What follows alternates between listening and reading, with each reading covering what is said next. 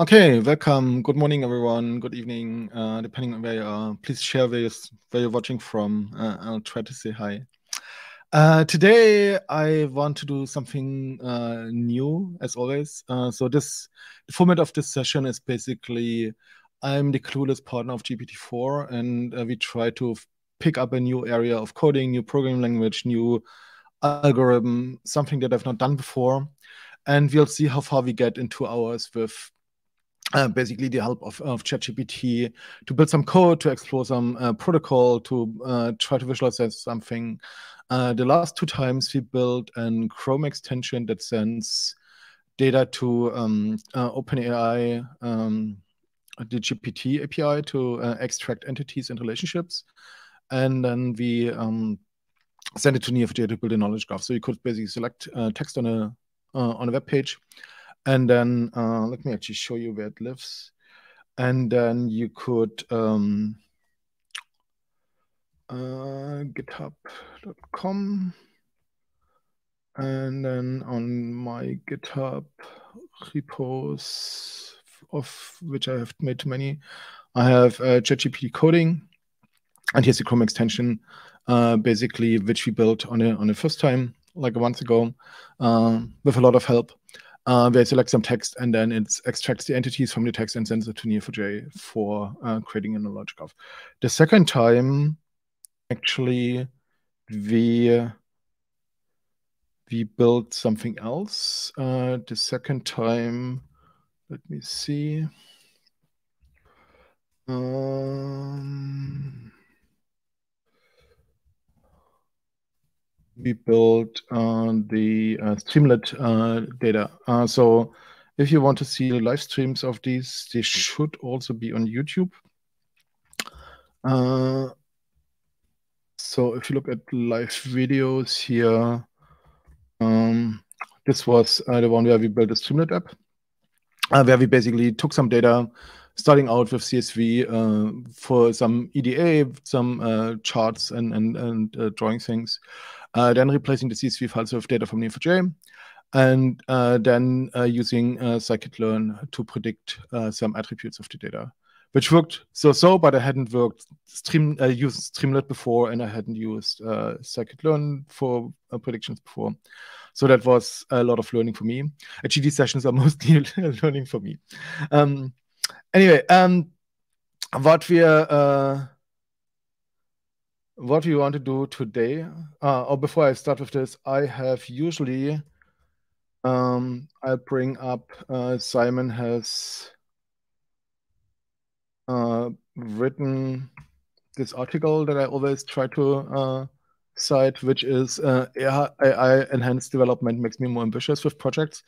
Basically, you don't need to do all the research and the fiddling and the going deep into the docs, finding out something uh, very particular forgetting about some you know some specific browser api or so some core stuff or some you know specific things headers and and other stuff.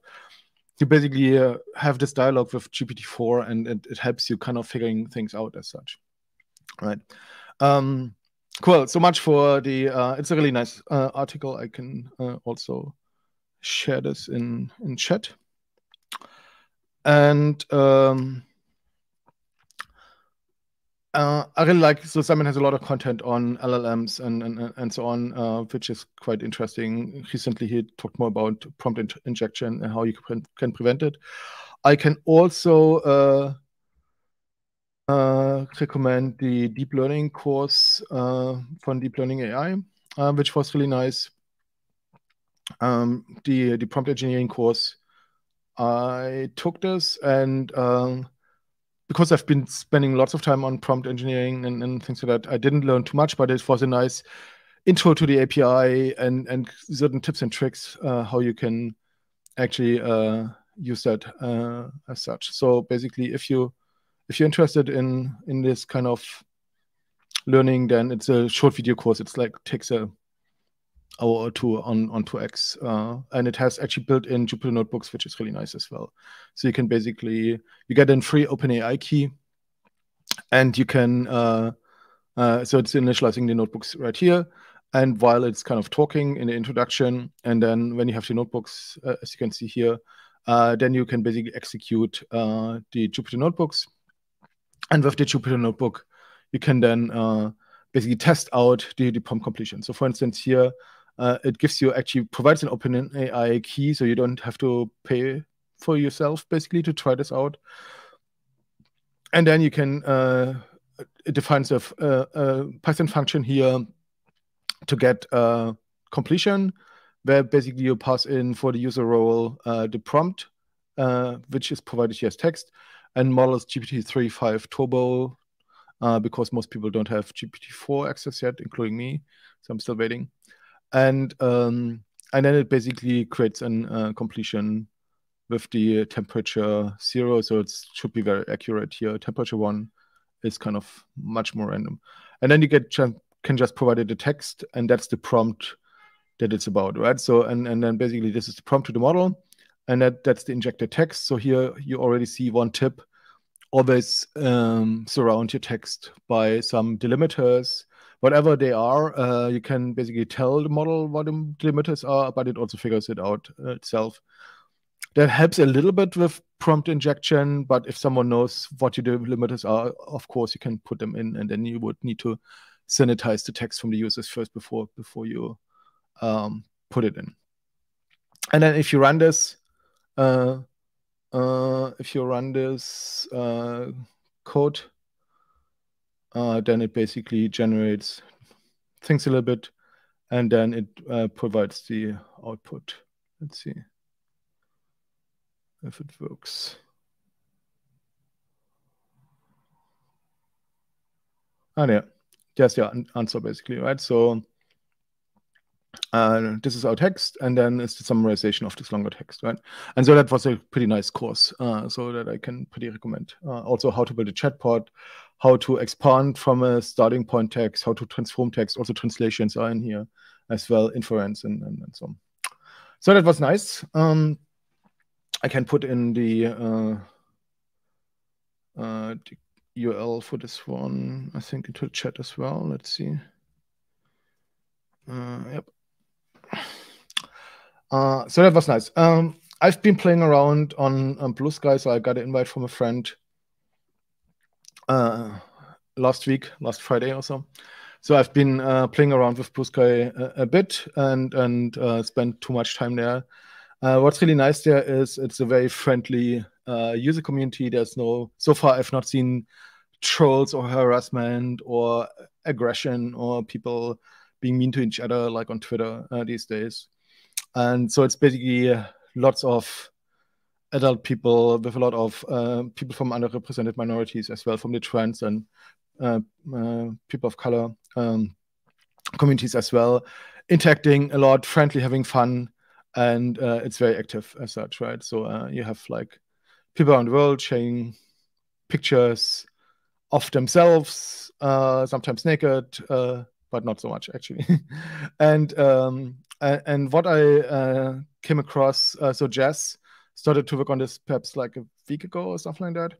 So he started to work on an, a social graph of uh, of the Bluesky uh, interactions, and that's something that I want to look at today. So he wrote it uh, all his code in Go, and I'm not a Go coder or fan so much. So we'll probably use uh, GPT-4 a lot to do Go Go Go understanding as well. And I just want to play around and see how far we can, can get to reproduce some of what he's doing. Um, I can also show you what I've done so far with Neo4j uh, at the beginning, but then I really want to dive into see uh, what the the at proto, um, protocol um, gives us in terms of like endpoints, concepts, and so on, and then we can uh, use it. Um, so what what Jess put together is uh, actually two things. So he built a bunch of tools that can um, collect data from uh, at proto uh, feeds uh, basically. So you have like user information but you also have uh, feeds basically. And then uh, from that uh, feed data which are all the posts and all the interactions it basically provides collects all the data and then he uses that to create an interaction graph. And what i mean with interaction graph is the following. He has so he has collected all the data stores in postgres right now and he has basically created this interaction graph where there's a subset of the 55,000 users now. Um, and uh, and this subset is basically the people that interacted, right? And and and what he did here is basically to look at how often the two people exchanged posts or skeets, as, as they might be called, uh, might or not be might or might not be called. Um, so um, basically, when pe- when people interact uh, with others, then this is kind of an interaction and kind of the number of interaction create this kind of interaction uh, graph or an uh, uh, interaction representation, right? And you see, of course, because language, because interests and, and so on, there are already clusters forming. So you have a lot of people on the on the outside rim that have like tiny mini interactions where like one, two, three, five, ten people interact with each other, but not much with the with the outside. You have language clusters uh, or uh, people from certain countries like Brazilian, uh, Korean language, Japanese is as well here uh, a whole cluster Persian, uh, Turkish, uh, and then in the English cluster, you have then also like the trans community. There's an ALF. There was an ALF meme and health thread yesterday. Um, there's some accounts which are like this one is an LLM as well, which generate stuff, Web3 stuff. Um, but there's also like news organizations and, and other things, right? So there's, for instance, um, uh, Jake Tapper is on Mastodon, uh, sorry, on, on Bluesky, but I need to find his uh, username because something I'll show you in a bit. Uh, so it's basically just uh, Jake Tapper at Bluesky Social, and you can basically see uh, whom he interacted with, right? So it's basically, let's see if this works. So it worked for me at least. And ah, there, there we are. Here you see Jake Tapper interacting with all people from all around the other clusters, right? So he's basically posting some news bits, but also some personal things, uh, his doc, and and uh, and other things as well, which is kind of fun. And AOC is uh, also there, and she has uh, recently done an AMA, and so she in interacted with a lot of people as well, and is posting usually interesting things and opinions as such. I'm there as well. So my domain. So what's interesting about uh, the at proto is you have like you can get the official username. Like for me, it's mesirii at uh, dot bluesky uh, dot social. But yet you can also put in your own domain because it runs on top of something that's called distributed identifiers. And uh, so the identity uh, is basically every user has Oh, so sorry. So this is the at protocol documentation, and uh, in the at protocol documentation, we can basically look at different aspects of the of the protocol. And so one aspect of the protocol is uh, identity. So what is the user identity, right? So someone uh, provides uh, global distributed identities. It's a PKI system, and um, these keys are used for discovering users, seeing what alternative identities that they have, and uh, they are uh, you can use uh, domain names uh, like this here uh, uh, in the um, as as identities, but underlying is these kind of distributed identity identifiers here, right? So you have basically DID, PLC, which is the lexicon. Um, and then uh, the um, uh, the the ID uh, as such, right? And so you basically have a DNS lookup uh, where you add a text, um, add a text uh, a DNS entry, and then it gives you back like the DID document. Actually, that's something that we can look at directly. So if uh, let's see if I do look at my DNS entry, so I can say txt at proto dot Okay. And it gives me back my DID, right? And with this, I can then go and, and fetch certain information as such, right? Uh, so which we look at in, in a second. Uh, so this gives me my, my initial uh, uh distributed ID, but then behind this is actually a full-fledged record that has lots of additional information as such, right? And so you basically um, they're replicated, available, and uh, they can be rotated as such, right? And um, you can resolve uh, these handles either with a text entry in your DNS, or you can have a callback uh, method which returns some JSON uh, that actually returns your DID, and then you basically get get the the thing back. Right. Uh, the whole at protocol is running on uh, XRPC. Uh, so it's basically um, a number of repositories, uh, of data repositories, which contains something like users, interactions, and, and so on. And then basically uh, it uses HTTPS uh, and XRPC to communicate between the federated servers, right? So there can be currently there's Bluesky and a number of like small personal experimental um, repositories, but in the future, the idea is to have lots of different ones where even organizations or people can host their own as well, and uh, where basically this data is exchanged uh, through the at protocol between the different uh, repositories, right? And uh, what's interesting, they created their own uh, schema approach, which is called Lexicon. Um, and a lexicon is basically like a data um, data schema for certain aspects, like for instance users or likes or or uh, posts and, and and things like that, right? And so, for instance, there's the at protocol lexicon for interacting with uh, users here, resolve handle, uh, and then there's also one. There's a number of lexica from from Bluesky, which are like give me definition, give give me the feed as such, and, and and so on. So you see which kind of um, inputs and outputs are required and what what they are, right? So URI, CID, author, record, and then you say you get like formats uh, and and and so on, right? So you, for instance, have the the author and pointer to a basic view, and then you basically can look at the in the schema uh, what is the uh, basic view as such.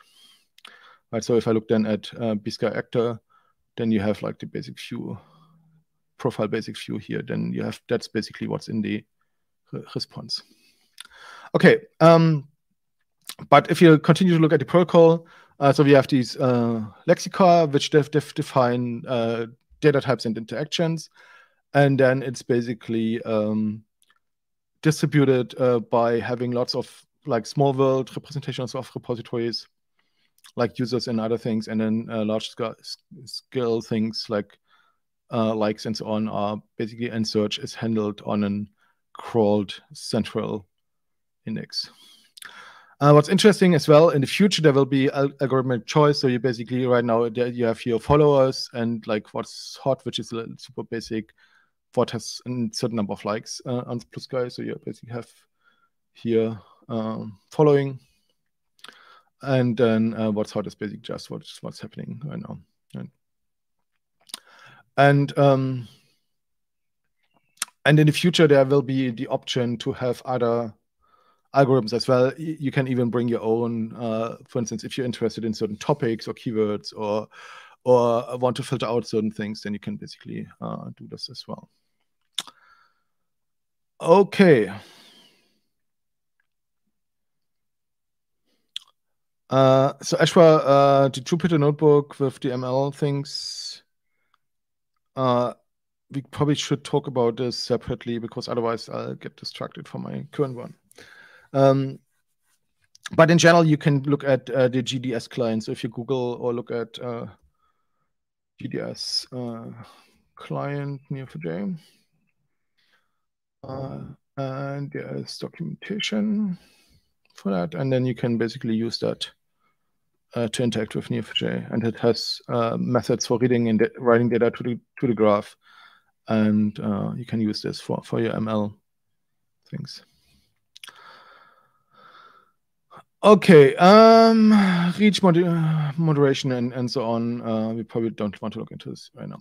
So what I want to look at today is um, Jess's uh, tools a little bit. Um, so I cloned his repository, and he has uh, both the data collector here, as well as a number of individual commands. And we can look at these individual commands and have uh, ChatGPT help us with the Go stuff. Right? Uh, uh, good morning. Uh, GPT-4. Today we want uh, to understand and code a bit uh, in Go and uh, explore the at protocol. Uh, can you summarize the at proto protocol in five uh, are the core concepts and um,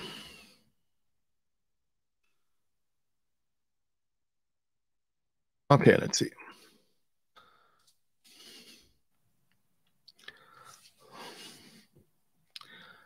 okay i think it made made made it up right or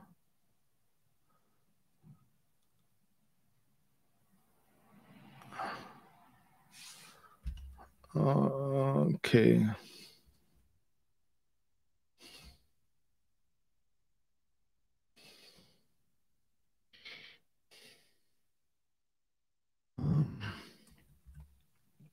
Let's see what it can do with the domain. Oops, not followers, but um, protocol overview. Um, here we are.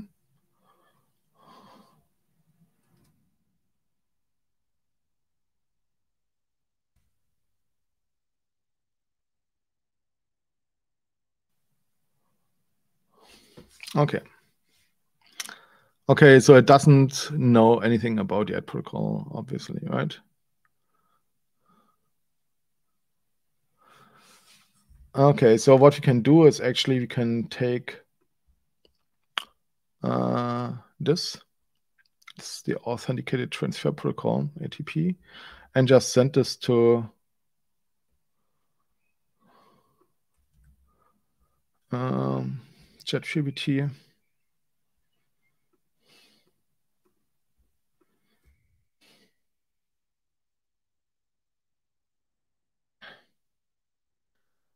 Uh,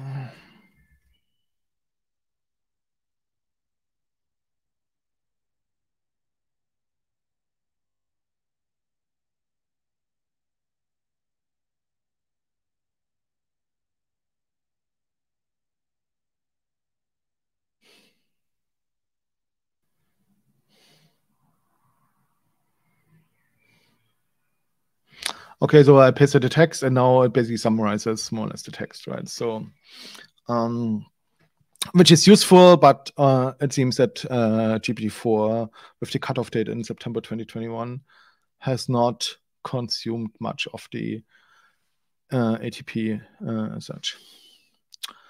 Okay, this will be fun, I guess.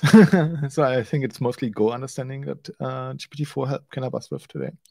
Um, so what, what I was looking at is um, if you look at, um, oh, let's take a step back. Um, uh, Eric uh, posted this um, atlas here, right? And you can interact with it and, and find things. But of course, uh, being Neo4j, I also wanted to kind of import this into Neo4j and see what we can what we can do here, right? Um, so what we can do is uh, we can uh, create a new Neo4j instance. Uh, let's do this.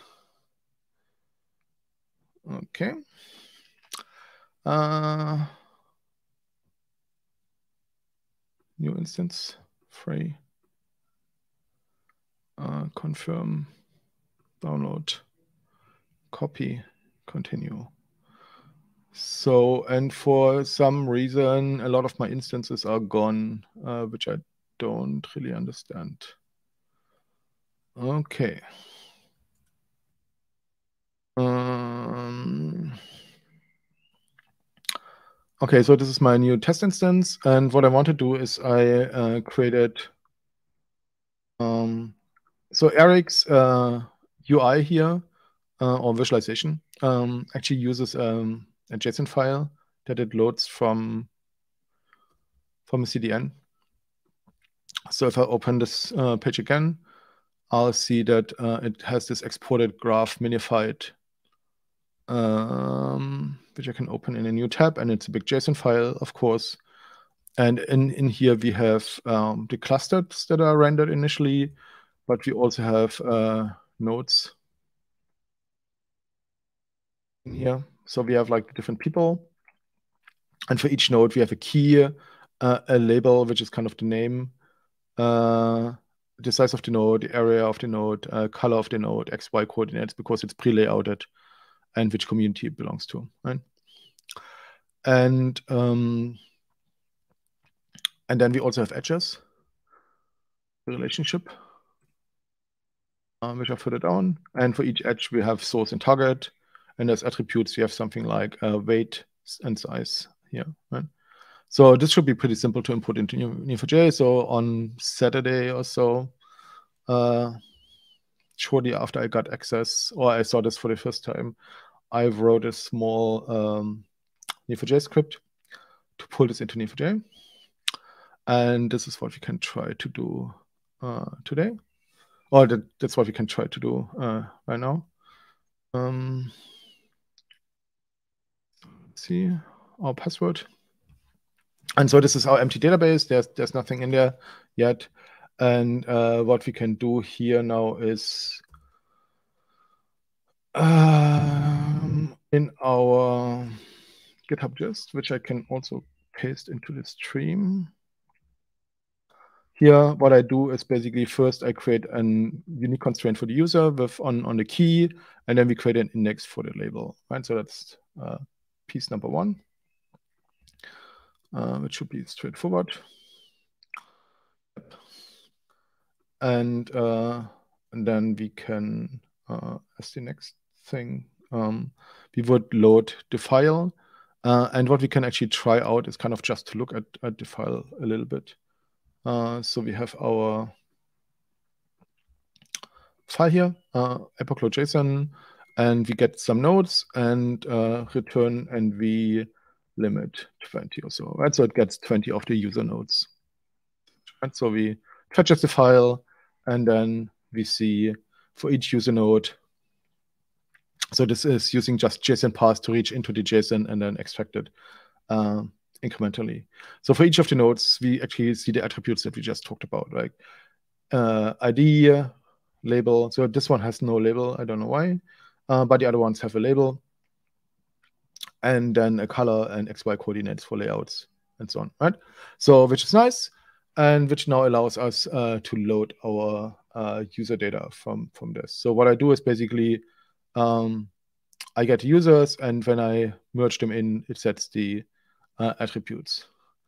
Uh, I need to remove the key uh, from from those attributes because it's duplicate, and sometimes they are not the same. I don't know why, uh, but I just want to make sure that it's not overriding the key that we just merged our user on.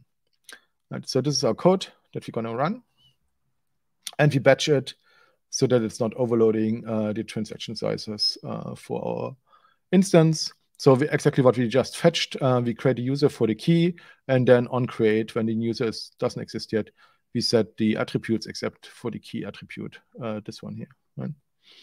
And that's it. And we iterated in batches of 10,000 uh, rows per transaction. And after a few seconds, uh, it should, you can actually check how many nodes we have in here. Uh, oh, it's already done. So it created 16,000 nodes. Uh, so we can refresh this as well. So it has 16,000 nodes. And uh, it took seven seconds, and we, it did two batches uh, uh of 10,000 each, right? So, so we have our nodes in here. So we can now also click on the user, and these are the users that we see, where we can also find ourselves or myself. And dot label uh, contains, let's see, and this is my node. And but of course, all these nodes have no relationships right now, and so we can't do anything with them. Or if I use look at AOC,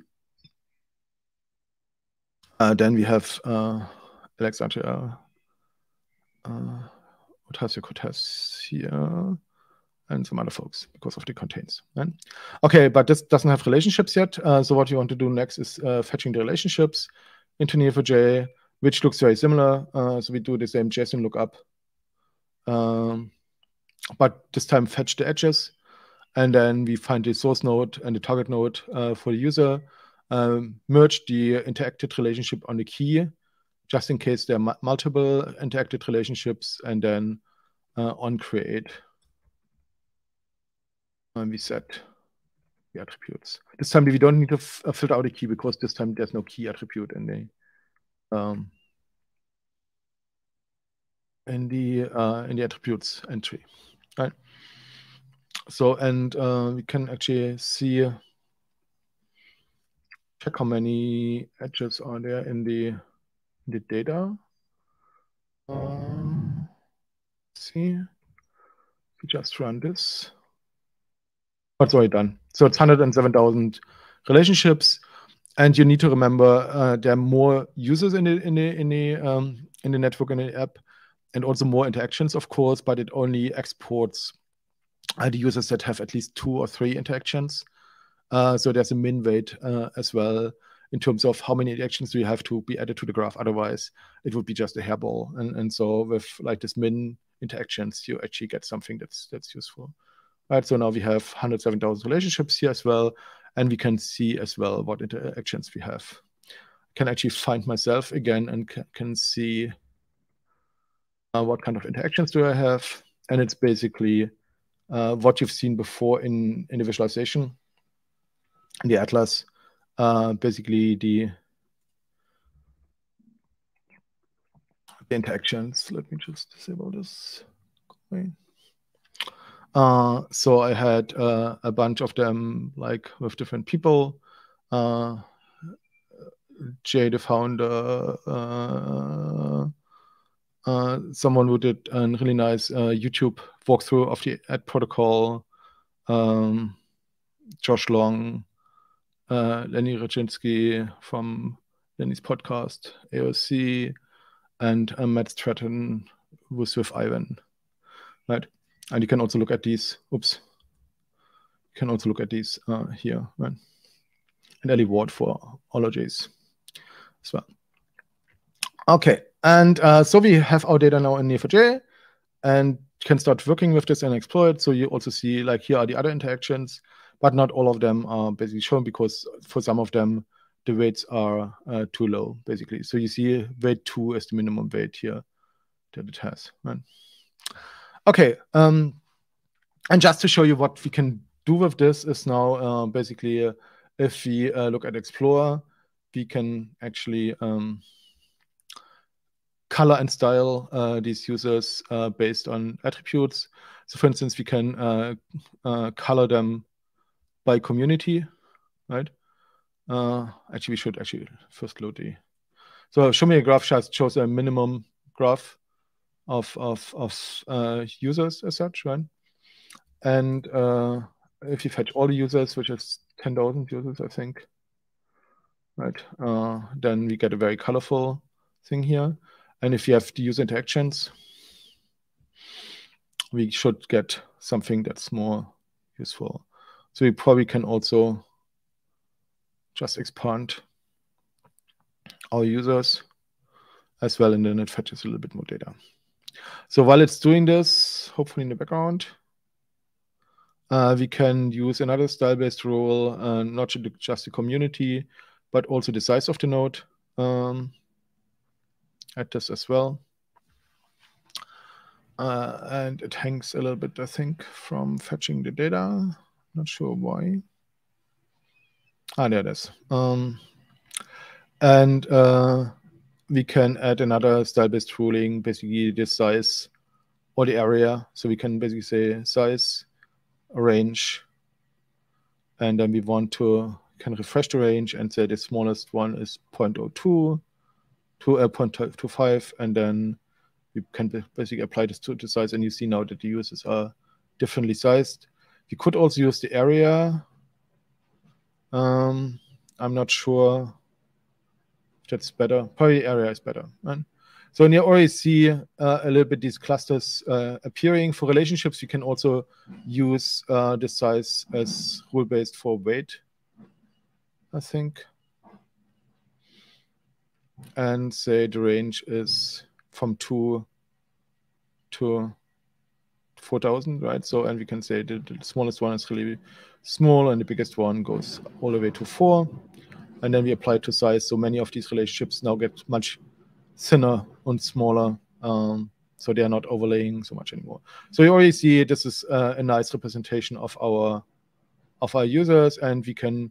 There's a number of nodes which are not connected here. So what we can do is basically we can dismiss the single nodes, uh, and this leaves our cluster here. And then uh, we could do find things like, oh, okay, I want to find the shortest path between this user and this user over here. Uh, and then we can say uh, path, shortest path, and then it would find us the shortest path between the two as such. I hope there's one, uh, but there should be one if they're all connected.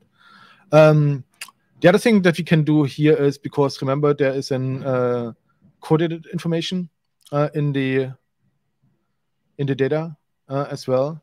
So we can actually uh, use the x and y coordinates uh, to uh, represent the data here as well. And then it looks actually quite similar to the visualization that uh, Jay created um, as well, right? So we could probably make the relationships even thinner so they are not so prevalent um, and fetch a little bit more data as well. But you see that is actually, so this is kind of the, which one is this the one down there? Uh, this is the uh, Japanese language supercluster. The Brazilian supercluster is to the left. The English one is in the middle. But you see, we can uh, basically, that's the Brazilian one, that's the Japanese, this is the English one. And so we can actually use that to uh, to do this, right?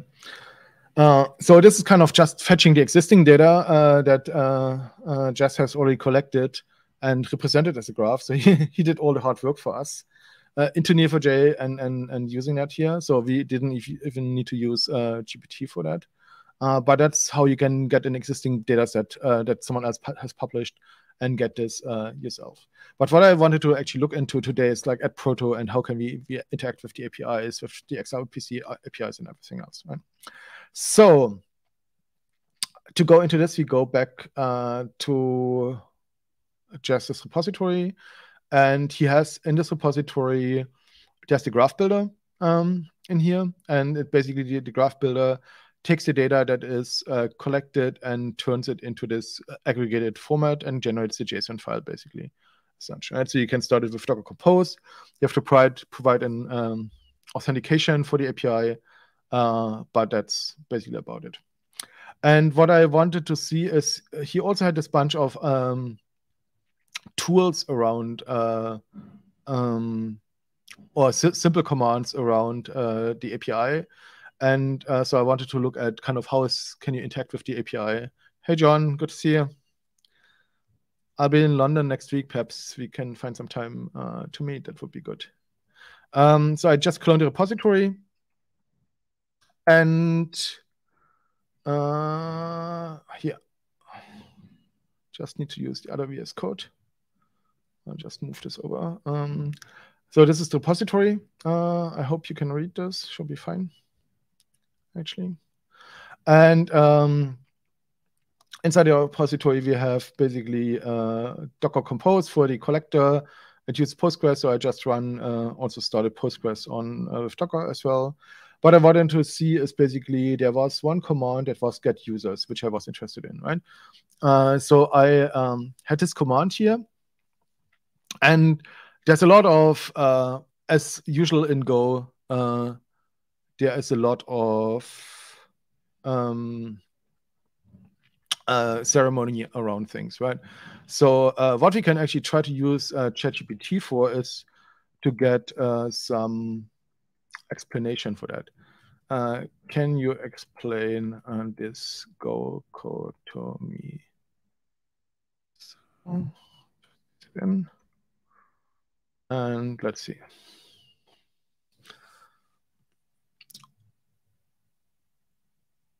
okay, it gets the, the users from, from the AT protocol and writes it to a handles txt. So it's basically all, all the users.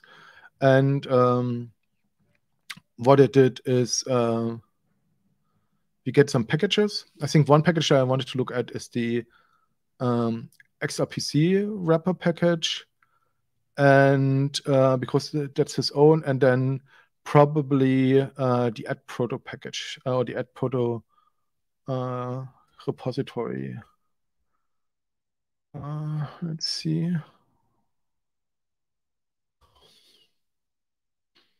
Indigo is um, uh, Go source code for the uh, AT proto services, and it also includes an AP, uh, API. So it's from the Bluesky team uh, themselves, and um, see it even says uh, this is not ATP like adenosine triphosphate from biology, energy, or the AT command. So if you're as old um, as I am, John probably knows like the modem uh, AT commands that you could send to your modem to connect to a dial-up service, right? Um, uh, so basically, uh, this is the protocol definition. That's what we looked at. Uh, that's the overview, and then there's a blog post, and they have like tools and APIs uh, in here. So I'm not sure how much docs they have for the um, Go API as such. I just saw that um, you can uh, basically run them uh, and, and, use them from your Go code, uh, like uh, like Jaz did. Right. Okay, uh, so let's see if uh, ChatGPT finished our explanation. So it imports the necessary packages um, that it needs for HTTP requests, JSON decoding, rate limiting, progress bar synchronization, defines a DID lookup structure to unmarshal JSON response from the server, and then get handle is basically takes in DID and as input and retrieves the associated handle by getting an HTTP GET request to the PLC uh, directory, and then uses a rate limiter. Okay, and the main function is sets up the rate limiter 10 requests per second, progress bar, and fetches a list of DIDs uh, from ATP uh, what repos. Uh, okay, and then retrieves the handles for each DID in the list. It spots a new Go routine asynchronously for get handle, and then uh, uses a channel wait group. Uh, uses a channel and then uses wait group, collect handles, and write them out. Uh, appends them to a slice div to file. Okay.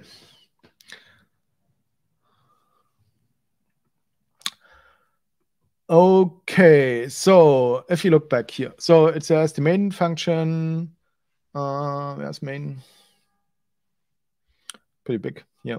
Uh, creates an XRPC client. If the client doesn't be can't be acquired, then it panics. Here's the rate limiters. Uh, actually, see, it actually understood it wrongly to because it's 50 per second, I think, or the comment is outdated. It could also be. Um, and then uh, that's a, a, template for the progress bar here. And then for the limiter, uh, it basically waits until it does the next command. And then sync-list repo, that's what I probably want to look into from the protocol, and then gets the client cursor. Uh, because I don't really know which repo, uh, if this combat proto is saying that it's only user repos. And then we take the repo output and get the repos and get the uh, DIDs here from the repo DID and then uh, continues here. So it basically has a list of uh, strings for the DIDs as such, right? Okay, and then out, uh, updates the um, progress bar as such. Cool. So what's interesting, the most interesting thing here is I think the sync-list repos and the repo output. So repo output is this struct, I think. Uh, uh, so we have uh, Comad Proto. So we can probably look at uh,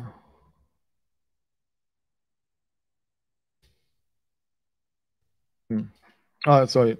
Comad Proto is com at proto. Stupid me. And uh, what I wanted to look at is the synclist repos, right? Here in, in main. Let's see uh, here.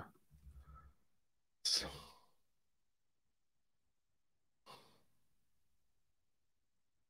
uh,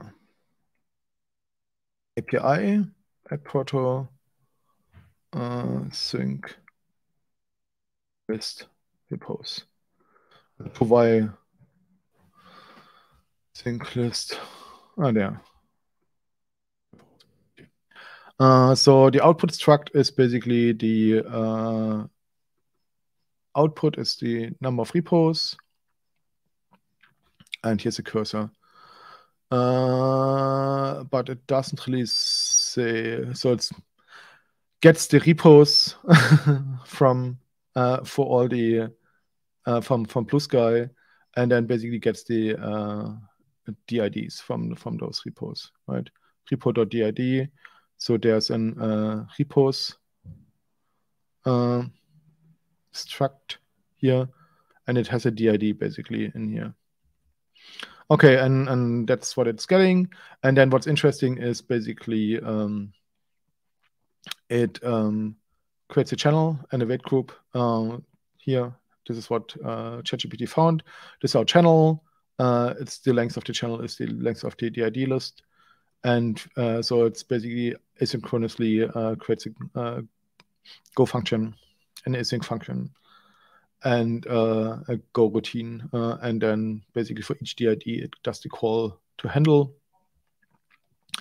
And then uh, it basically output uh, outputs that to the channel here. And it then kind of waits until all the Go routines are done, uh, the waiting group, and then closes the channel and gets the handles from each DID handle uh, each handle structure from the from the channel, right? And then writes it to the file. Okay, easy enough. Uh, what I saw here in the get handle function is actually this uh, HTTPS call, which I wanted to try on the command line actually. So if you do um, curl on this, uh, and we use our DID like mine, uh, so then it probably doesn't work. But if you use uh, this DID, Let's see if it then works. So from our, oh nice. I got the data. Q dot and curl dash s. Um, so this is now my personal DID verification method. Uh, so it talked about PKI and, and key rotation earlier. So they, these are like rotation keys. This is my alias that I'm added my own domain with the text record and then that's the personal data server is uh, Bluesky Social as such. So this is where it came from, the PDS, right? And and so what it basically does for the list repos is basically gets all the handles, and then for each of the handle writes out uh, this data structure, right? So because I said that my uh, so we could could run this, uh, but I probably want to limit this um, to uh, a subset. So question is, um, if we uh, if you just run this, it would fetch every everything, right? So, I, but what I what I thought we could do is probably could break um, if the uh, output length is um, greater than x, right? So if you say uh, if uh, length of the output repos is greater than 1000 or 100, uh, break, right? So we basically stop after 100 users. And then it should also do the get handle and write out the data to a file. And then when I now use, uh, let's see, um, here, um, where did I have it? Uh, so we are currently in in the CMD folder and we had get users. And if I do go run main go, hopefully I didn't break anything. And this is kind of the uh, progress bar and it basically gets to 100 users. Let's see. Oh no, my code was wrong. Did I save it? Oh, I, of course, looked at the wrong thing. I wanted to look at the list, not uh, DIDs. So, did anyone pay attention and tell me what I did wrong? okay, let's see. Um, so this is now the length of the DIDs that it fetches from there. So how are we actually in time? We are one minute, one hour in. So we already got some stuff done. And it seems uh, that it didn't like our second change either. So let's see. Um, if length DID greater than 100 break, why uh, does it not stop here? Uh, any ideas? But we can just add ChatGPT. Um,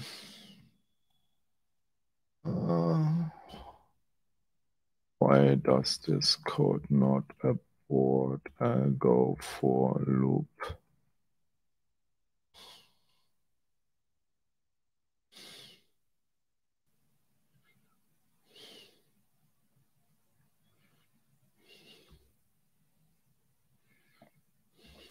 Hmm. So if the DID loop is, so this is an endless loop, right? Hmm.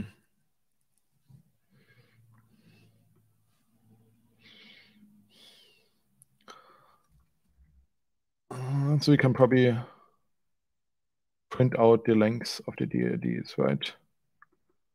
Uh,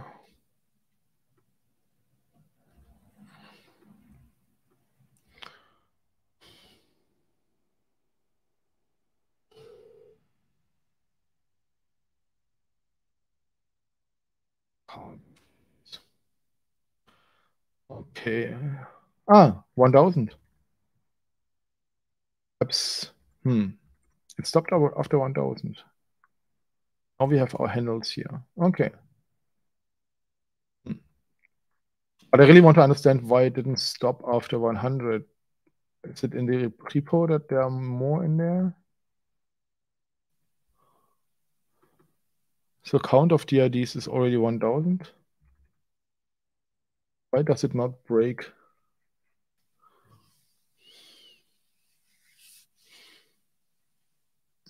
Hmm. It's an empty list at the beginning.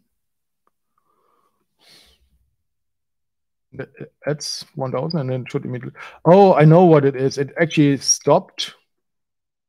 Uh, uh, stopping after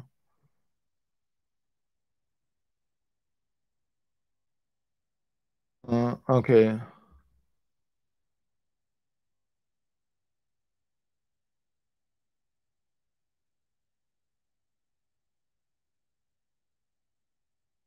I think it um, did the stop after uh, 100, but it fetches like 1000 at once from the repository. Okay, so our Go code was not wrong. It just had a different um, amount of data that fetched. Cool. So this could be already used uh, that we get the users. So we can basically fill, fill in our user graph uh, with this uh, get users command, uh, which is nice. So the next thing that we need is uh, find uh, the interactions, right? So because now we have like all the handles for the people in our handles txt.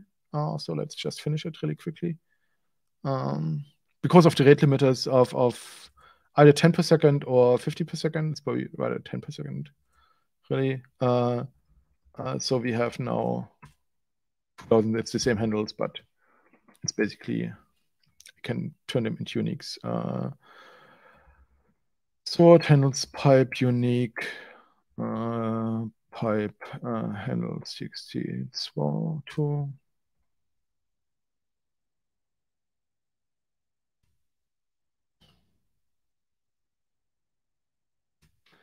Okay, uh, so we have one, our 1000 handles, which should be enough for us, us now. So jetzt, now the question is how to actually get the um, how to get the data from. Gee, I could put myself into the corner here, so I don't put in so much uh, space. Um, so now the question is how to get the interactions, right? Uh, so I'm not sure if uh, Jaz had anything in his repository in the uh, in the README. Uh, not really. Uh, project in the repo, interactions of users of the platform. So we looked at get users. Uh, there's bin to bin, which is binary graph reader, bin to text, okay. Graph builder, graph dev, text to SQLite. Um, read graph, write SQLite. I think we should rewrite this all to Neo4j. this would be fun uh, because there's also an official Go driver for Neo4j, so we could write this directly from Neo4j when fetching it from the. So that's probably. Let's see how far we get. Perhaps we can do this. This would be fun. Um, Actually, perhaps we should do this here, that we could actually write it into uh, to get users. We could actually, instead of writing to a file, we could write them uh, to uh, to Neo4j instead. I think I want to try this. Should we try this? Any options, opinion? Because I haven't used the Go driver for Neo4j myself. Uh, so uh, I just move get users to uh, import users. Okay. And now I will need some help from uh, ChatGPT, I think, for. So. Uh, so we have our cat handles here, and uh, we also want to add uh, Neo4j. Uh, give me an example of using the Neo4j Go driver to add a user node a graph from a list of handles at user nodes. Okay, let's see.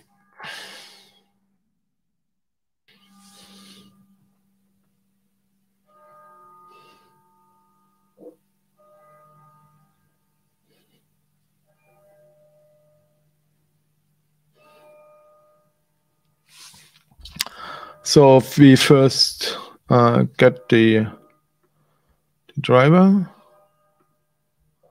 should get v5 probably, right? Uh,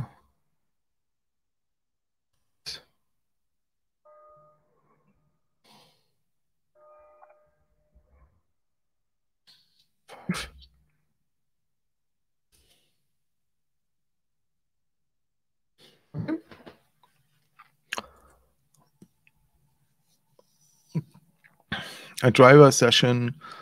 I know that the new drivers should have come out.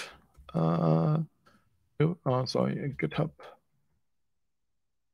Com uh, Neo4j, Neo4j Go driver. See.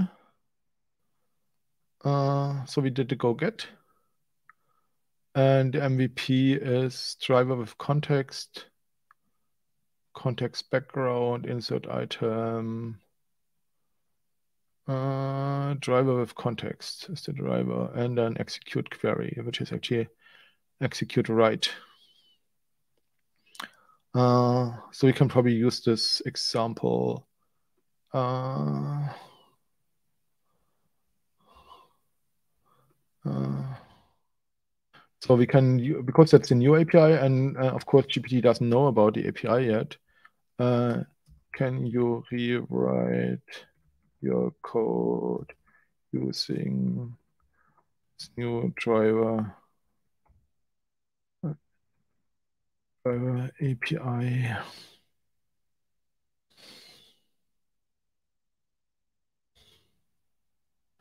Shortest form possible. I really don't like Go because it's so verbose. Even the MVP Hello World is like gigantic, as you could see, right? So it's, I don't know, so much. Um,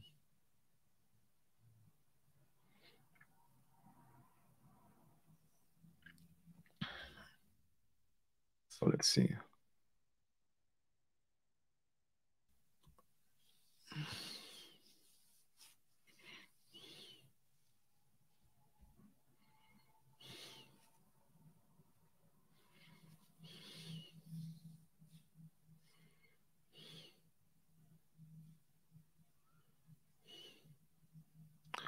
I'm not sure.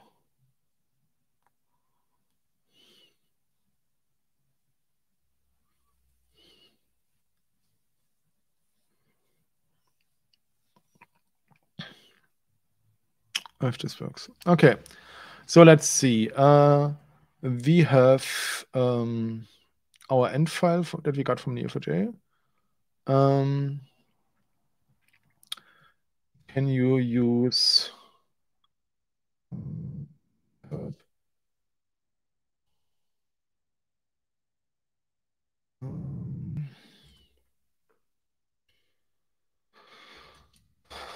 home downloads uh, Neo4j. Um,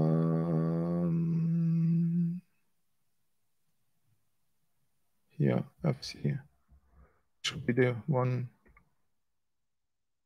Okay. Uh, so we have uh, Neo4j password, Neo4j URI. Uh, uh, can you use environment variables for Neo4j UI?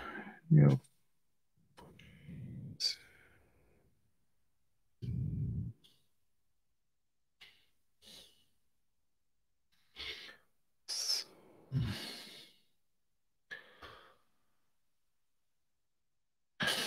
Okay. So while it's doing this, we can basically uh, get our inputs going uh, in our code. So this is now import users, right? Where's input users? Yeah. Uh, input users. So we add our imports here, context, format we already have. So we just need to add the new driver. Uh, then we need to add our connection information and create user is basically this.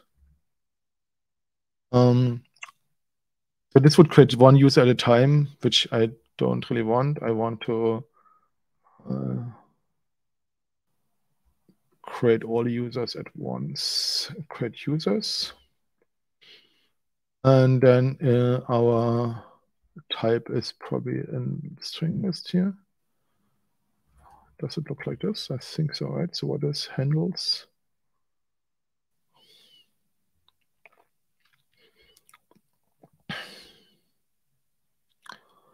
Uh, handles is a string. So, and then handle and we just, because it's just 10,000 or so, we can just do it like this, unwind handles handle create user.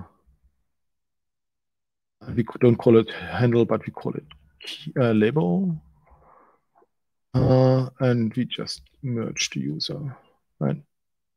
Um, so this we pass in the context and the user. And then we have the code to import users. Uh, this is this here. Um, okay, this is all very verbose code. Uh, we probably just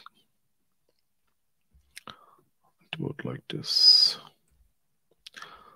Let's just copy this main function and rename it into import users. Uh, import users. Uh, are the handles. And then uh, we just get the inf, um, and uh, driver close, and then our handles we get from the outside. And then we just call create users handles, so we don't need the individual one. Uh, fail to create users. Um, probably just want to see the other one.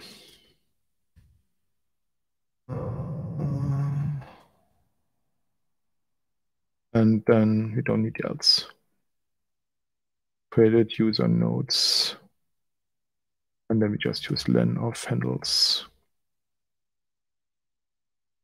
And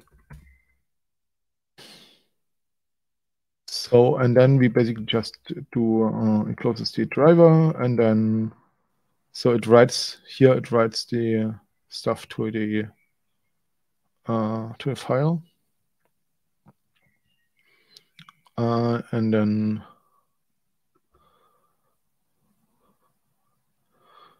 actually uh,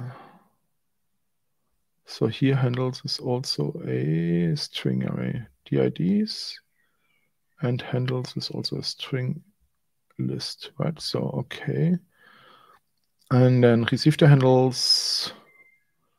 And then finish and then just writes into file and here we do uh, at the same time well, at the end we say import users uh, handles. Um, and don't actually throw, do we throw an error? Panic, yeah. Uh, not sure if this code is correct, but if yeah, not nil, then uh, failed importing users into Neo4j.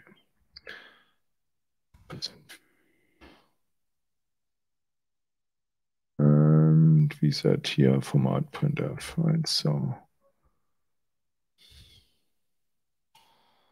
okay.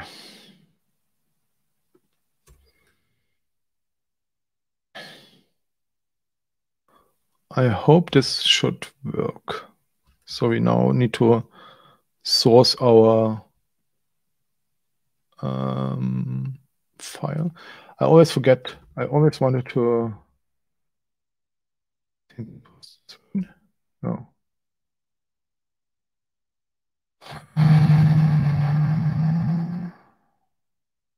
Always forget what's the command and getting last argument. Um, actually, we can ask ChatGPT. Uh, this. Uh, what is the uh, variable for the last and argue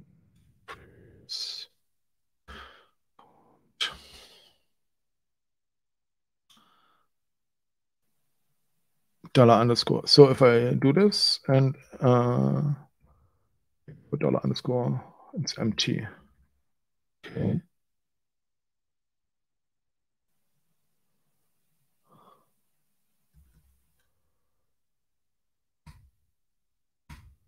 Hmm. this.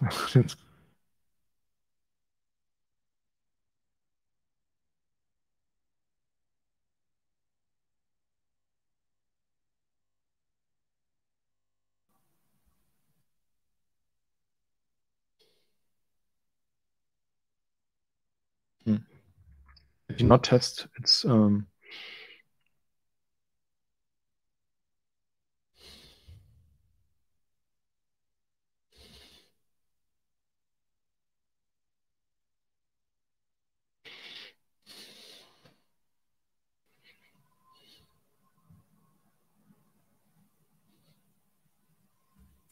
Okay, let's try this again.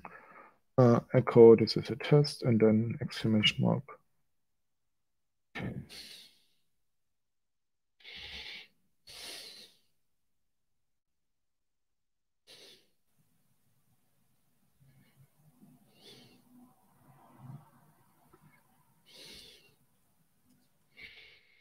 I think it didn't really work right. Okay, anyway, uh, that was just, uh, we are in import users, uh, go run.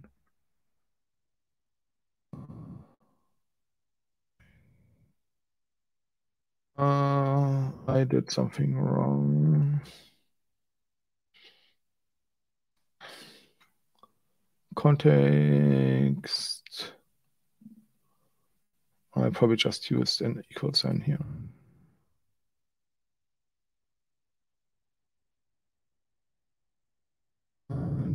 Call this import users, this main. Func import users. Floor. 24. 24.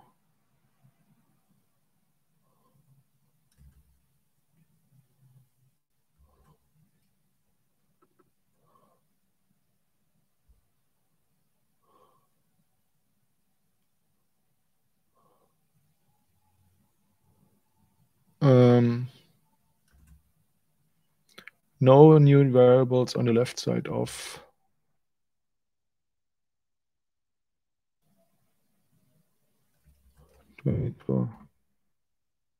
I guess, but it doesn't return anything else, right? So, yeah. Hmm.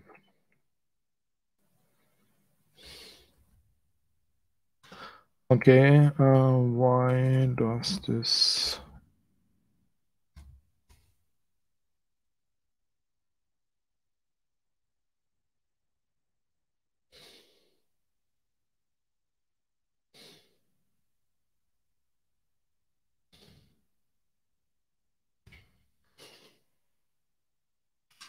Let's see.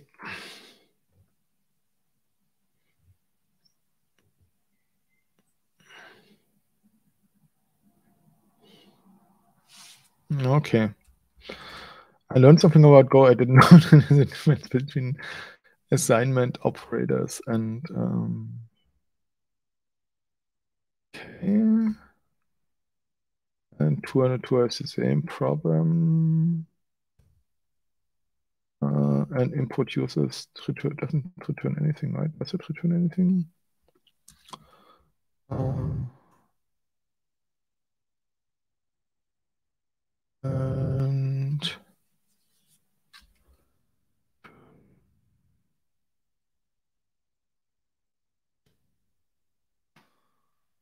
so.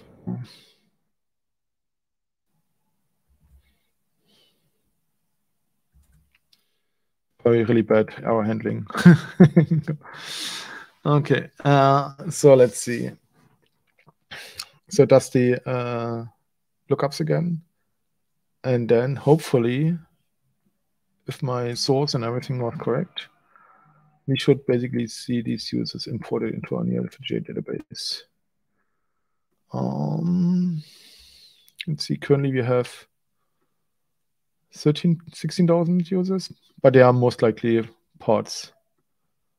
Uh,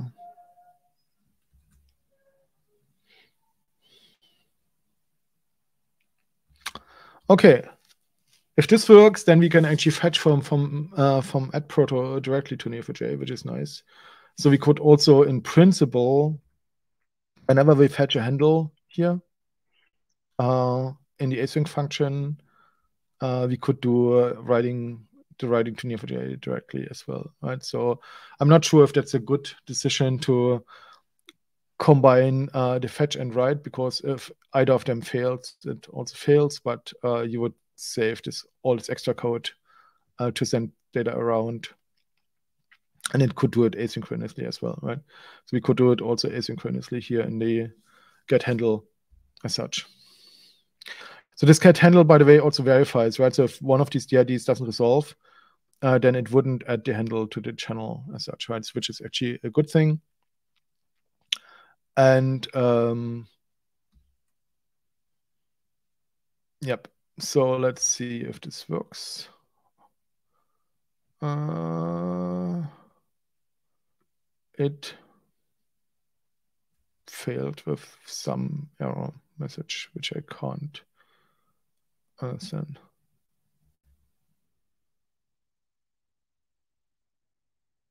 Six three nine. No. Uh, URI scheme is not supported.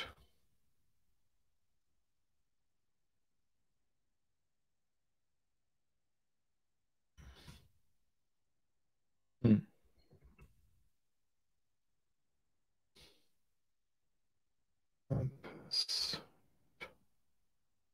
So I username password. So for whatever reason,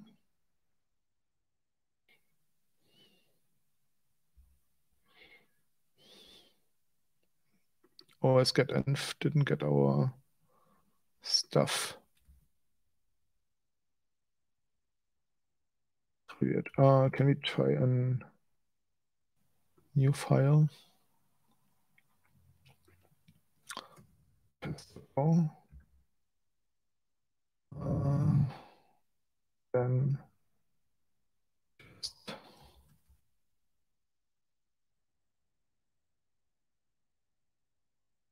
use OS.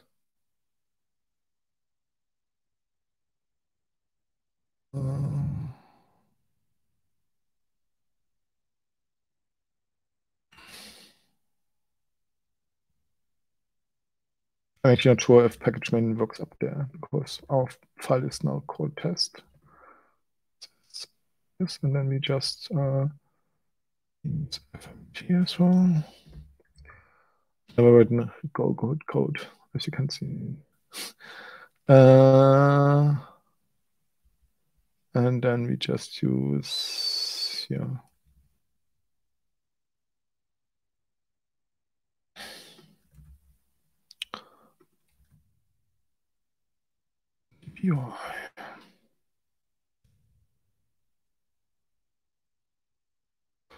So run test it go.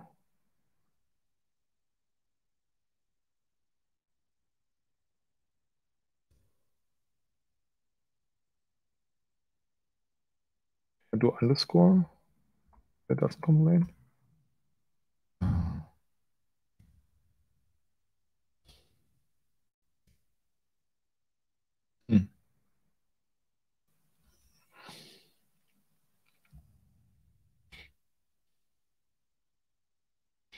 We need to do something else to export them.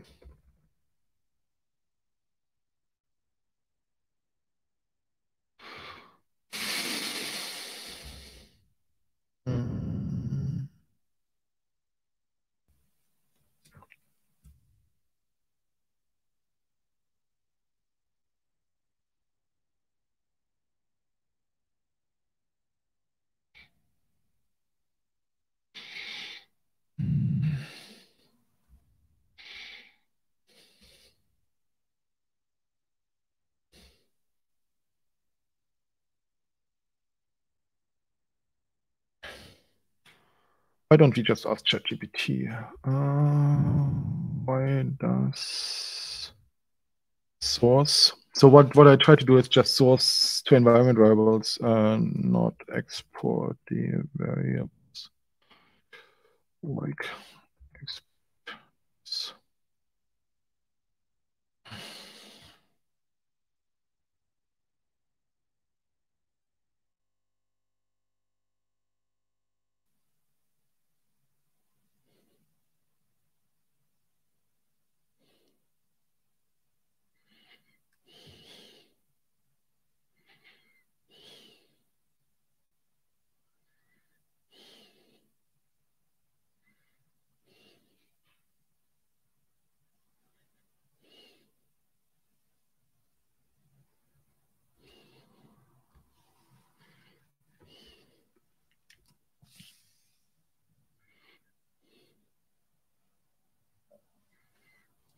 Hmm.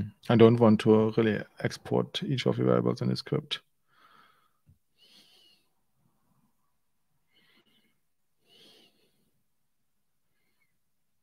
I think I'll just use source and then just export them manually. Export neo4j UI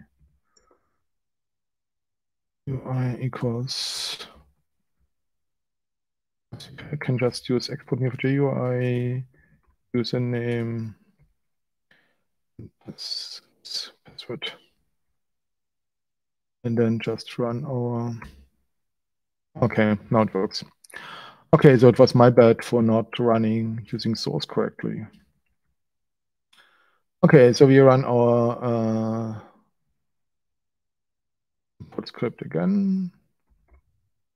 Um, a little bit unfortunate because it takes a while to fetch all the handles, uh, but I just want to make sure that it works throughout. Okay. Um, anyway, while it's running, the other thing that I wanted to look into is uh, basically how it fetches the interactions, right? Uh, so, which is not obvious to me, right? So, I would say we look into the graph builder and see how it uh, tries to build out all things, right?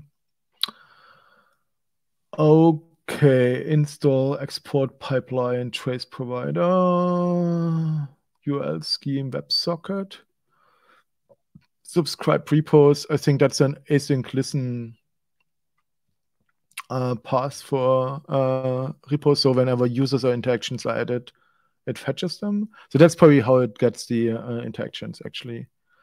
And then uh, writes the binary graph file and registry DB connection string. That's kind of the Postgres uh, one. And then int events, uh, int events, new sky. So where does this come from?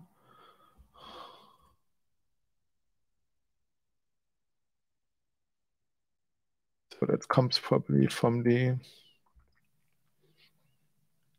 here from events. So there's a package events, which probably wraps something. Events.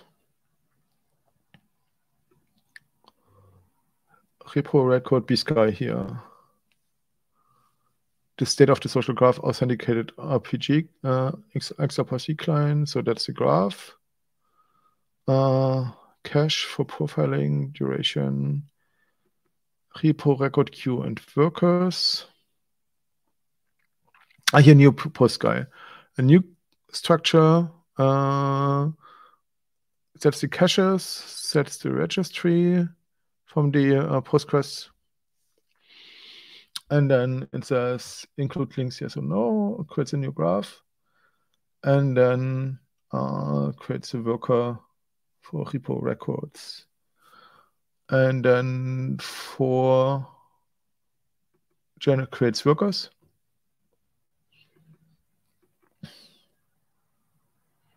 And each of them gets their own XRPC client and an, a mutex for exclusion. Ah, here, interesting. And repo commit. So you can probably imagine them a little bit like Git repositories. So when something gets added to an uh, AT proto repository, you get a commit event. So similar to the GitHub uh, event APIs. Okay, uh, it reads uh, the repo. What's the repo actually? This is the event and repo dot Oh, so that's another one of the Indigo. Uh,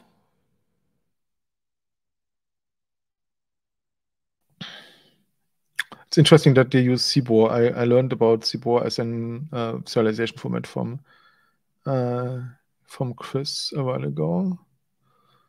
So, and it has these commits. And in our code, we said just had here repo dot read repo from CAR. This here, here. It's in context in reader, um, gets a block store and returns an open repo. Oh, okay, so it returns a repo, so we get the repo back. RR is in read repo. And so because it's an repository, um, uh, so we have a repository now, and then for the repository for RR, uh, we get our uh, events. Uh, so events is this commit. Uh, event.blocks. Uh, okay. What is the parameter here in the reader? Okay. Okay, and then uh, there are different uh, actions of the event. So we get uh, either an create record or update record, or the other ones are ignored. Okay. Um, grab the record. So this API is pretty low level. Right? So uh, I'm not sure uh, if he did it for like performance or to kind of play around with the APIs. Um, so it gets the record from the event, um, from the repository, and uh, operation path. And if it, if, if it got the record, then it checks that the CID matches the CID in the event. That's interesting. I'm not sure what error condition uh, would happen if they don't match. Perhaps if there's something broken in some chains or so.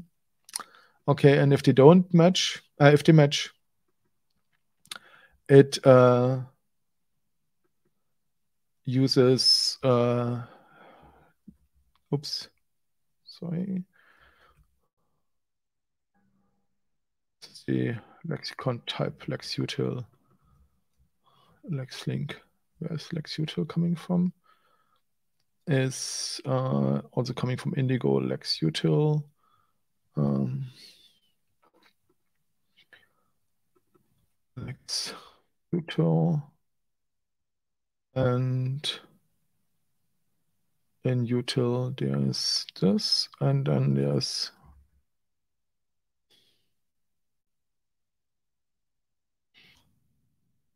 Oh, LexUtil, lexicon util. Oh, okay. And there's a type decoder. Type name for field. Hmm.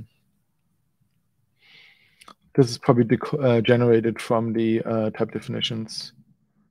And that's on record. This is the record that we got from here.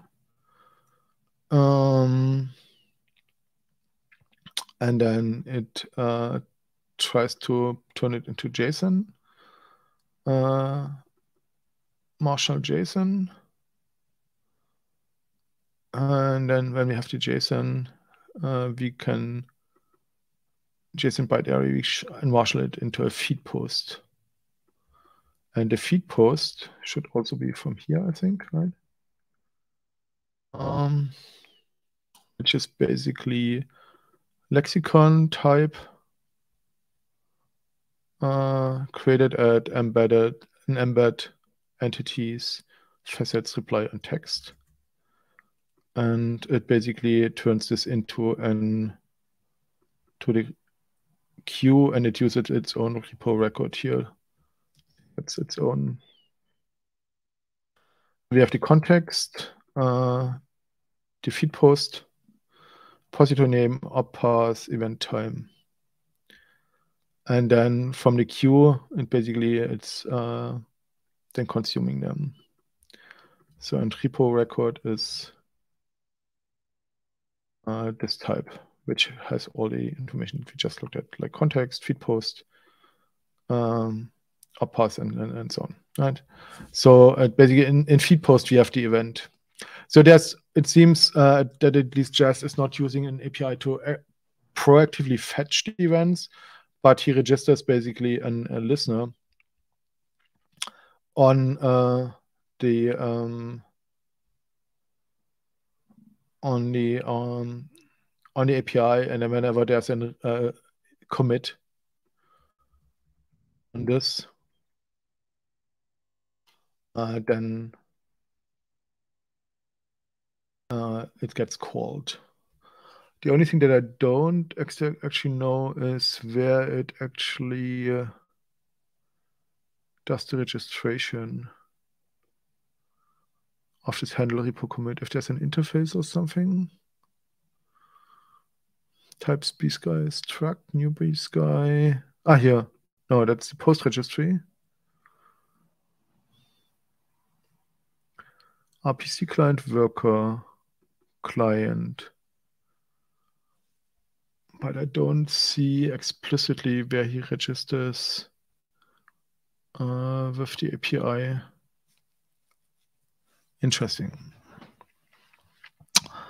Anyway, where are we half an hour in? So basically that's what is used uh, to fetch, um, to get the callbacks as such. And um, if you look at the graph builder again, um, include links, binary file, registry. Yeah, this new bsky is what we, this was the event handler, right? Uh, that we just looked at, and then it basically is running, uh, and then uh, gets a binary graph writer and reads the the file and it uh, basically has this channel inside of the events. Uh,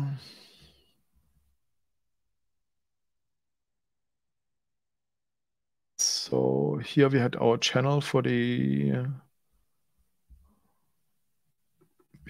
report record queue. And sure if this is kind of used somewhere else. Docker.go in fetching. Ah, okay, this fetches now the, so each worker has a ticker here, refresh, authenticating, auth token, auth ticker stop. Um, so that's an async refresh thing. And that's also an endless for loop, yeah. And so it has basically a two operations quit and uh, refresh. So fetch from the queue and then process the record and the process record probably just writes it to the binary file and to the uh, to the database as well. So it extracts the um, the, the users, the authors, and then the text as well. So bsky has resolve profile. Um, this is resolve profile here.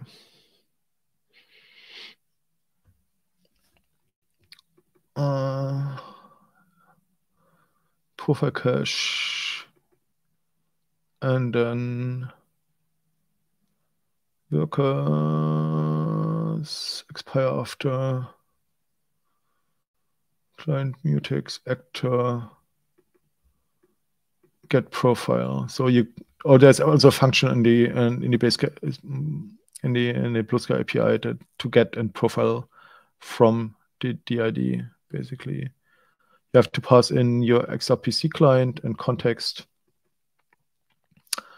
and then uh, release lock. So there's an you need to lock the, the uh, client and then release the lock again.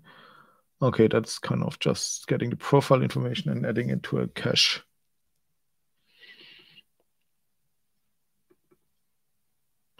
Right.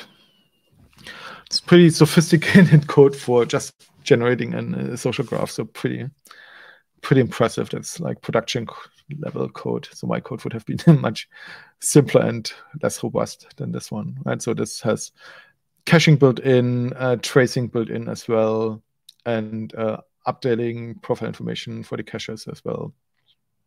Really nice. Uh, so we were at uh, the import. Um, handle repo commit, we already did this. And the other one was in, in graph builder. So we have the events, does the ticker and stop. Sync wait groups. That's kind of Prometheus. Uh, tracing, handle repo stream retry, repo stream callbacks. And save graph. So the thing that I've not seen yet, where were we just now before? We had event callbacks. That was the new bsky handle repo commit, which adds it to the uh, repo record queue and worker.go. And then it processes from, from the queue uh, we did the post uh, resolution, uh, tracing, add events, decode facets, uh, so also handle and uh, post facets, and probably also entities. So mentions, links uh, come from here, and then time from the event as well. Um, get a text, replace them all with backslash n backslash t, okay. And then get the up path from the repository, take all the parts, and then it tries to find probably the replies or something like that. Path parts. So if it's a reply and if uh, it has a parent, it gets UI uh, process the relation. That's probably where it counts the uh, author and reply to UI. Uh, so that's probably something that I want to look at as well. Um, this one. It's also in Worker. Uh, so this is our author, and this is the parent post UI, and then uh, resolves the post. Um, so gets the post uh, that it applies to, and here you have the parent author handle. And uh, here it adds a node to the graph for the author and a node to the graph for the parent. And it should also add a node to the graph, exactly, a relationship uh, between the two, right? So uh, the social graph concept here, or the social graph is um, basically just a representation of DID and handle and then has just an edge count as such. And then on the graph, you do the clustering on all the other stuff as well. Right. Okay. Um,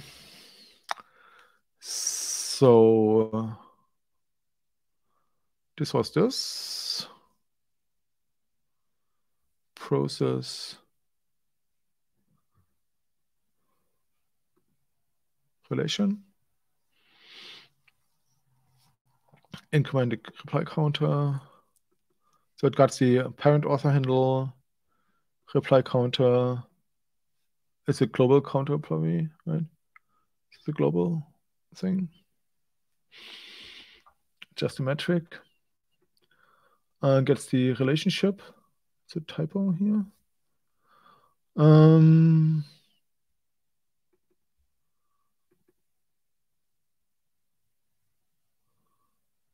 Where is search coming from?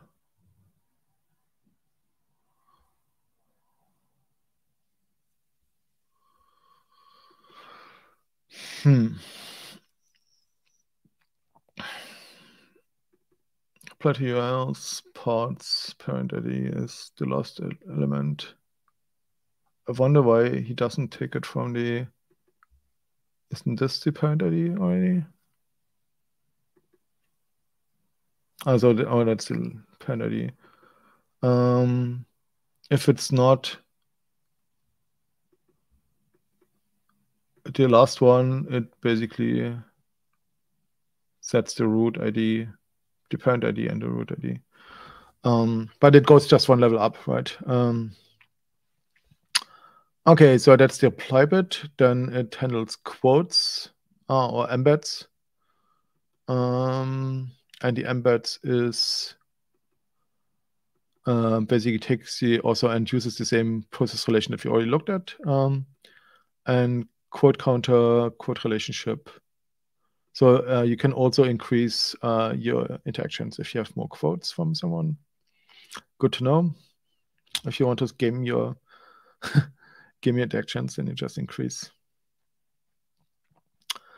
and then um, so write a post to the post registry if enabled. So that's kind of to Postgres, right? So it creates a post uh, from here. And then uh, parent post ID, root post ID embeds parent relationship and then adds the author and adds the post to the post registry. So post registry is uh, post post registry is um,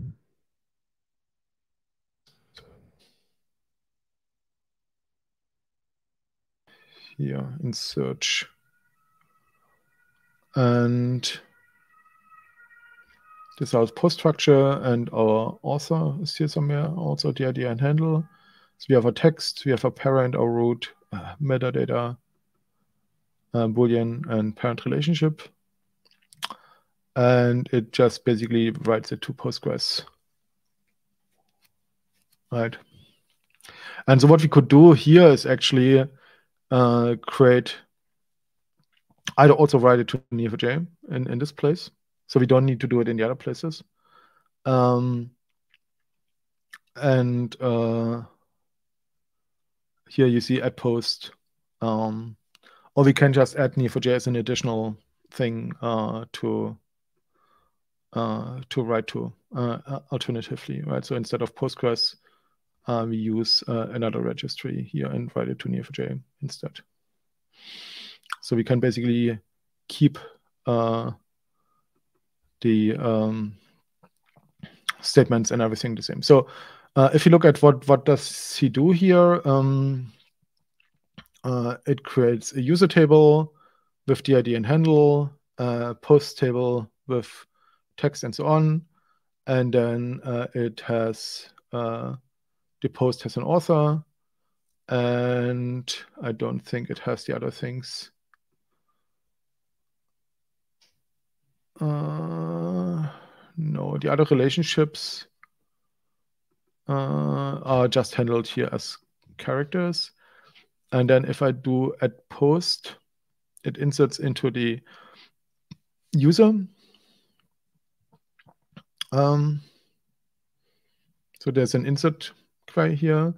Uh, add author has this, um, but it doesn't keep like reply to and at least I don't see the replies.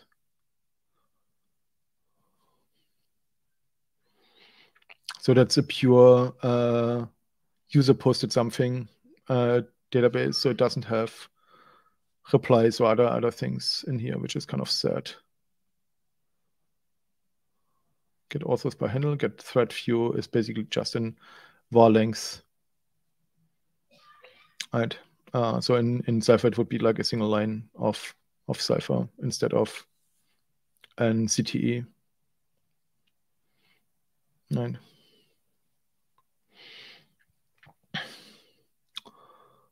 Okay. So it would be nice if we could extend this to add uh, the connections as well. Uh, so not just the po uh, in the post, not just have the um, parent post ID and, and, and so on, but also have like replies and embeds as well. Uh, so uh, mentions uh, and so on. So um, in workers, where's workers? Um, that processed uh, like the embed. There's only one embed, it seems, right? Um, but here it has for relations uh, for the quotes and mentions. Where is it? This is the parent relationship. That's the embed. Where's the mentions? Process repo record. Mentions links errors here. Um, so it also doesn't keep the links, which is kind of sad. I did, at least I didn't see it. And dimensions are locked out.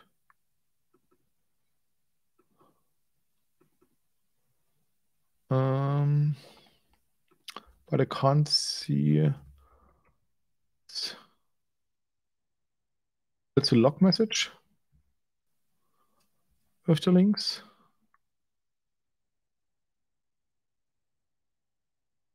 Uh, and dimensions.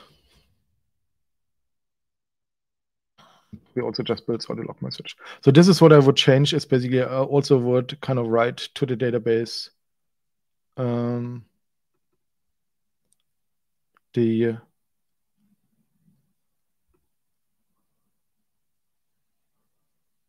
um, would also write this to the database as well. And the embeds, uh, dimensions, the links uh, would be nice to write them to, to the database as well. So that would, would be something I, I would like to add here, right? So we can basically add to to to this to write to NFJ.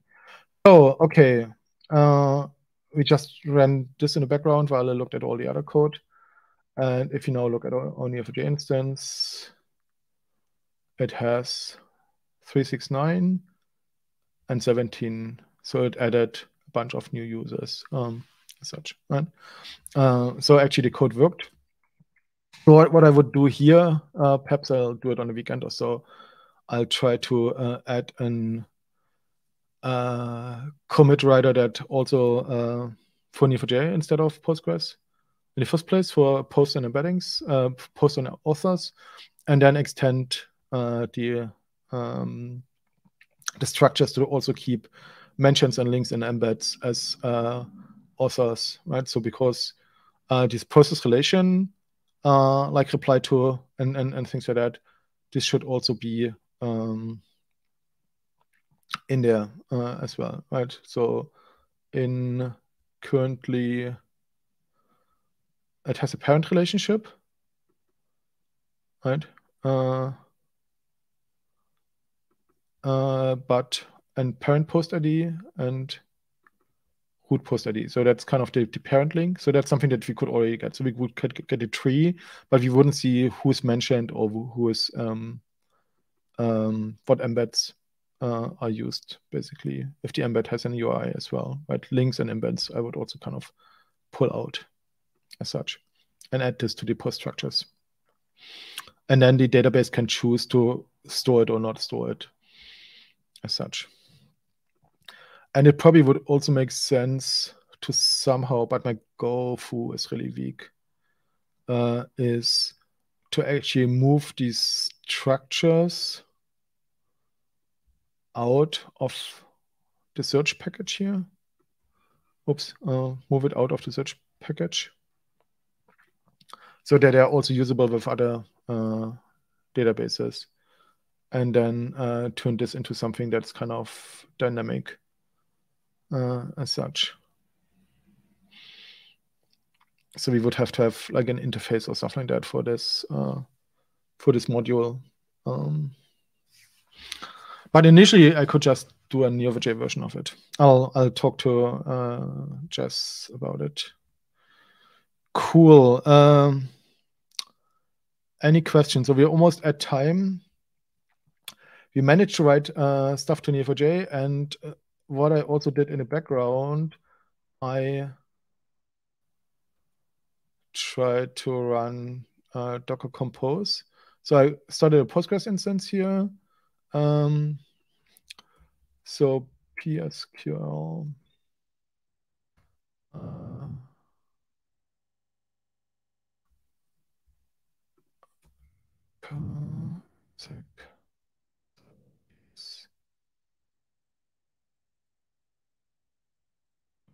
Sec.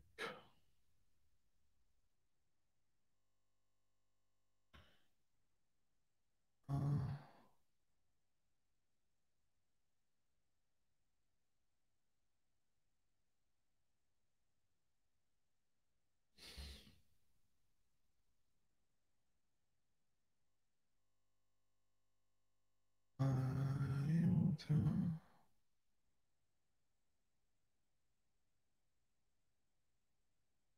Okay, this.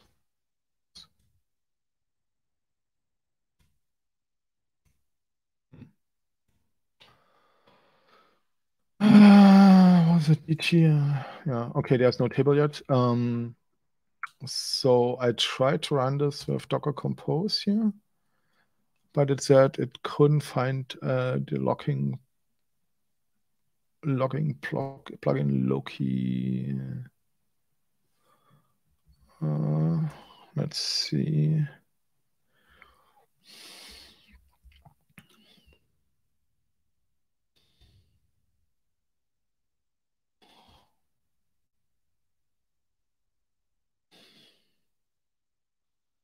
Probably look at the Docker Compose file as well.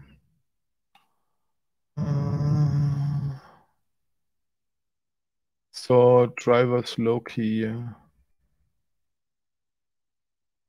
Loki URL. Can I just comment this out?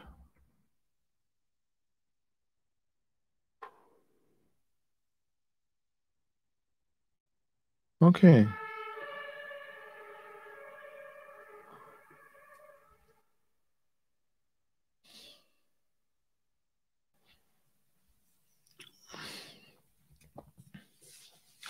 Let's see. Exporting layers, creating, and then it says Loki not found. Yeah. So I just commented out the Loki thing. Let's see if this works.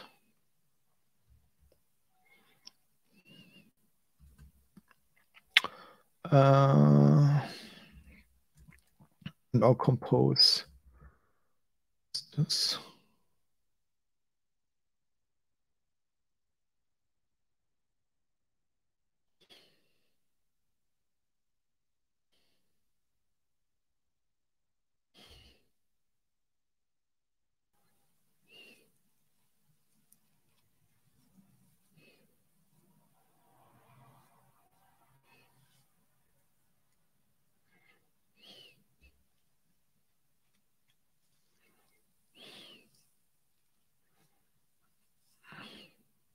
Ah, okay. Oh, interesting. That's in Grafana. Hey, David.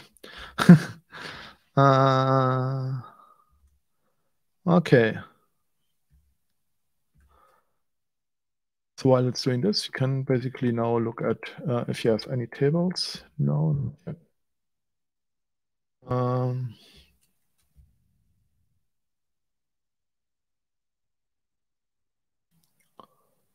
uh, so now that we have the Loki, Loki driver again, we can probably also uh.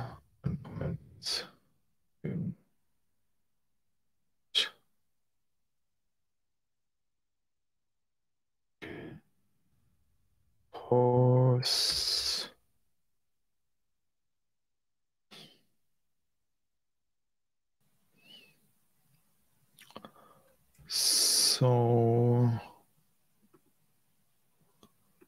but it now should actually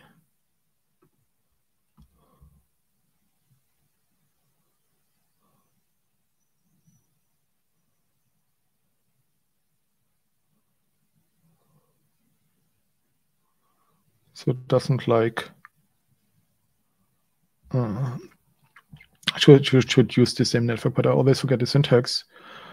How can create a network uh, in compose and use? We probably need to give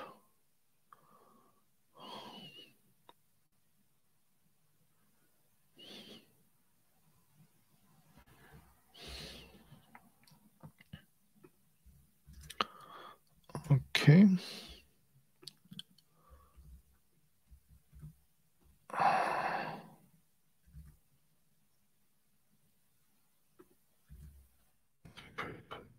Network. And then let's say networks my custom network. We just call it uh, Sky network. I can also call it just Skynet. Um, and then I have to add it to the image.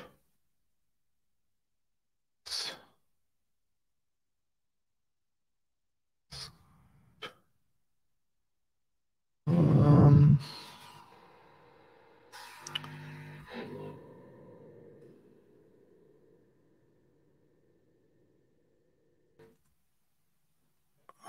and then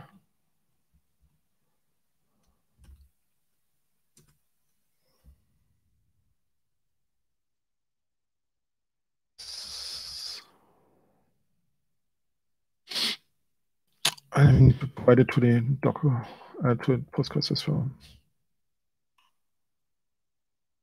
Okay. Okay, let's try this again.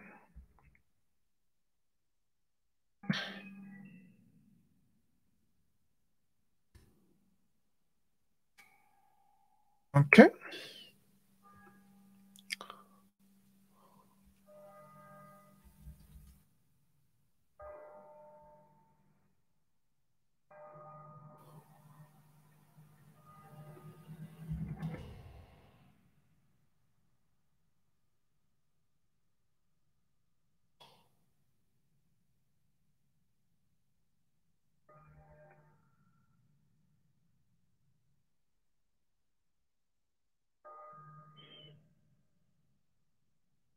Was there like a force or so on Fosca?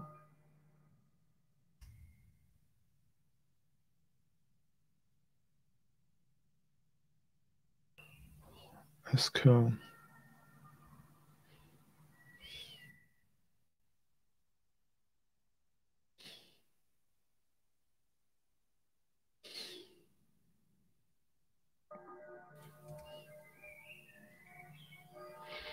Hmm.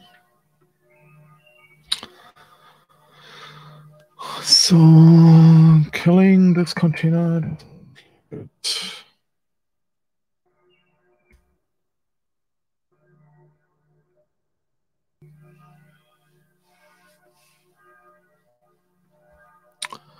I think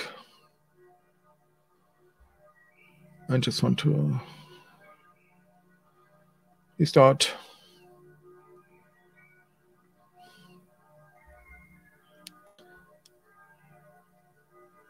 Okay.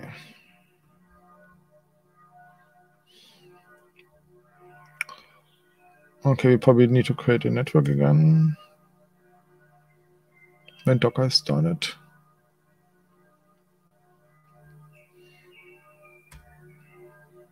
Ah, okay.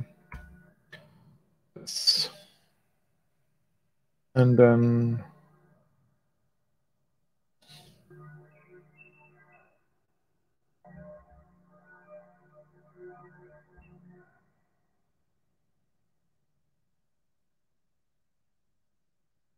networks.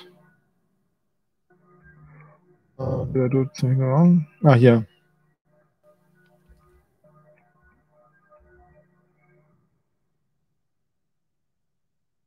Uh,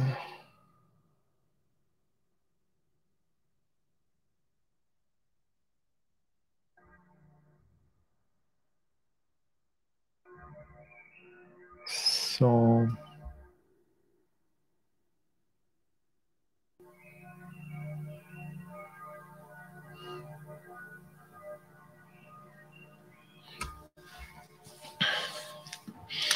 So pretty sophisticated project I just built here um, with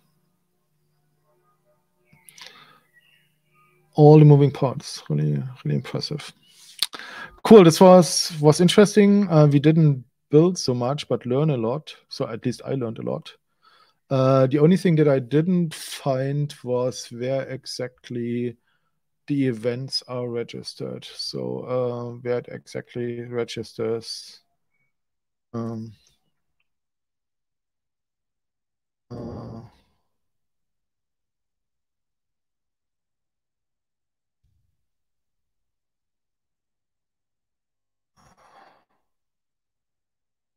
okay, so our Postgres now we should also see. Uh, table being added, right? We just add Postgres to the Docker Compose as well.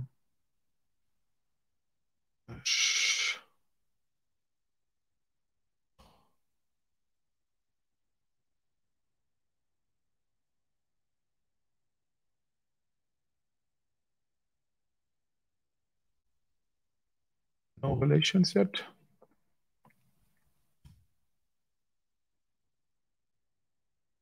Uh,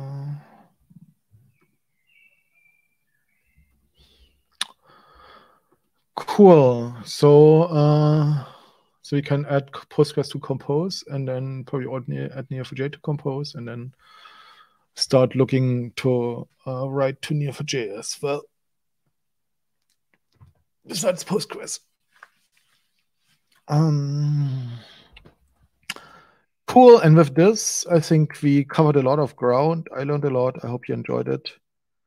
Uh,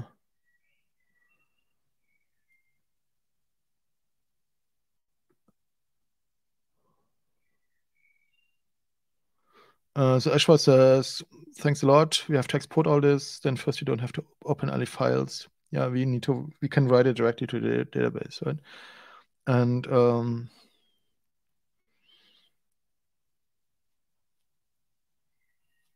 I don't really uh, understand. So uh, Ashwa says that we should uh, use the same query without any different, like we are giving a query with the distance between the symbols, characters, and space, and so on. Um, cool. I hope you enjoyed this. Uh, this was fun. Uh, see you next time in probably two weeks or so. Next week, I'm in London for DevOps UK. And this afternoon, we're actually running a May 4th uh, session uh, with my colleagues Jason and um, Alison as such. Cool, cool. Take care, everyone. Uh, see you soon.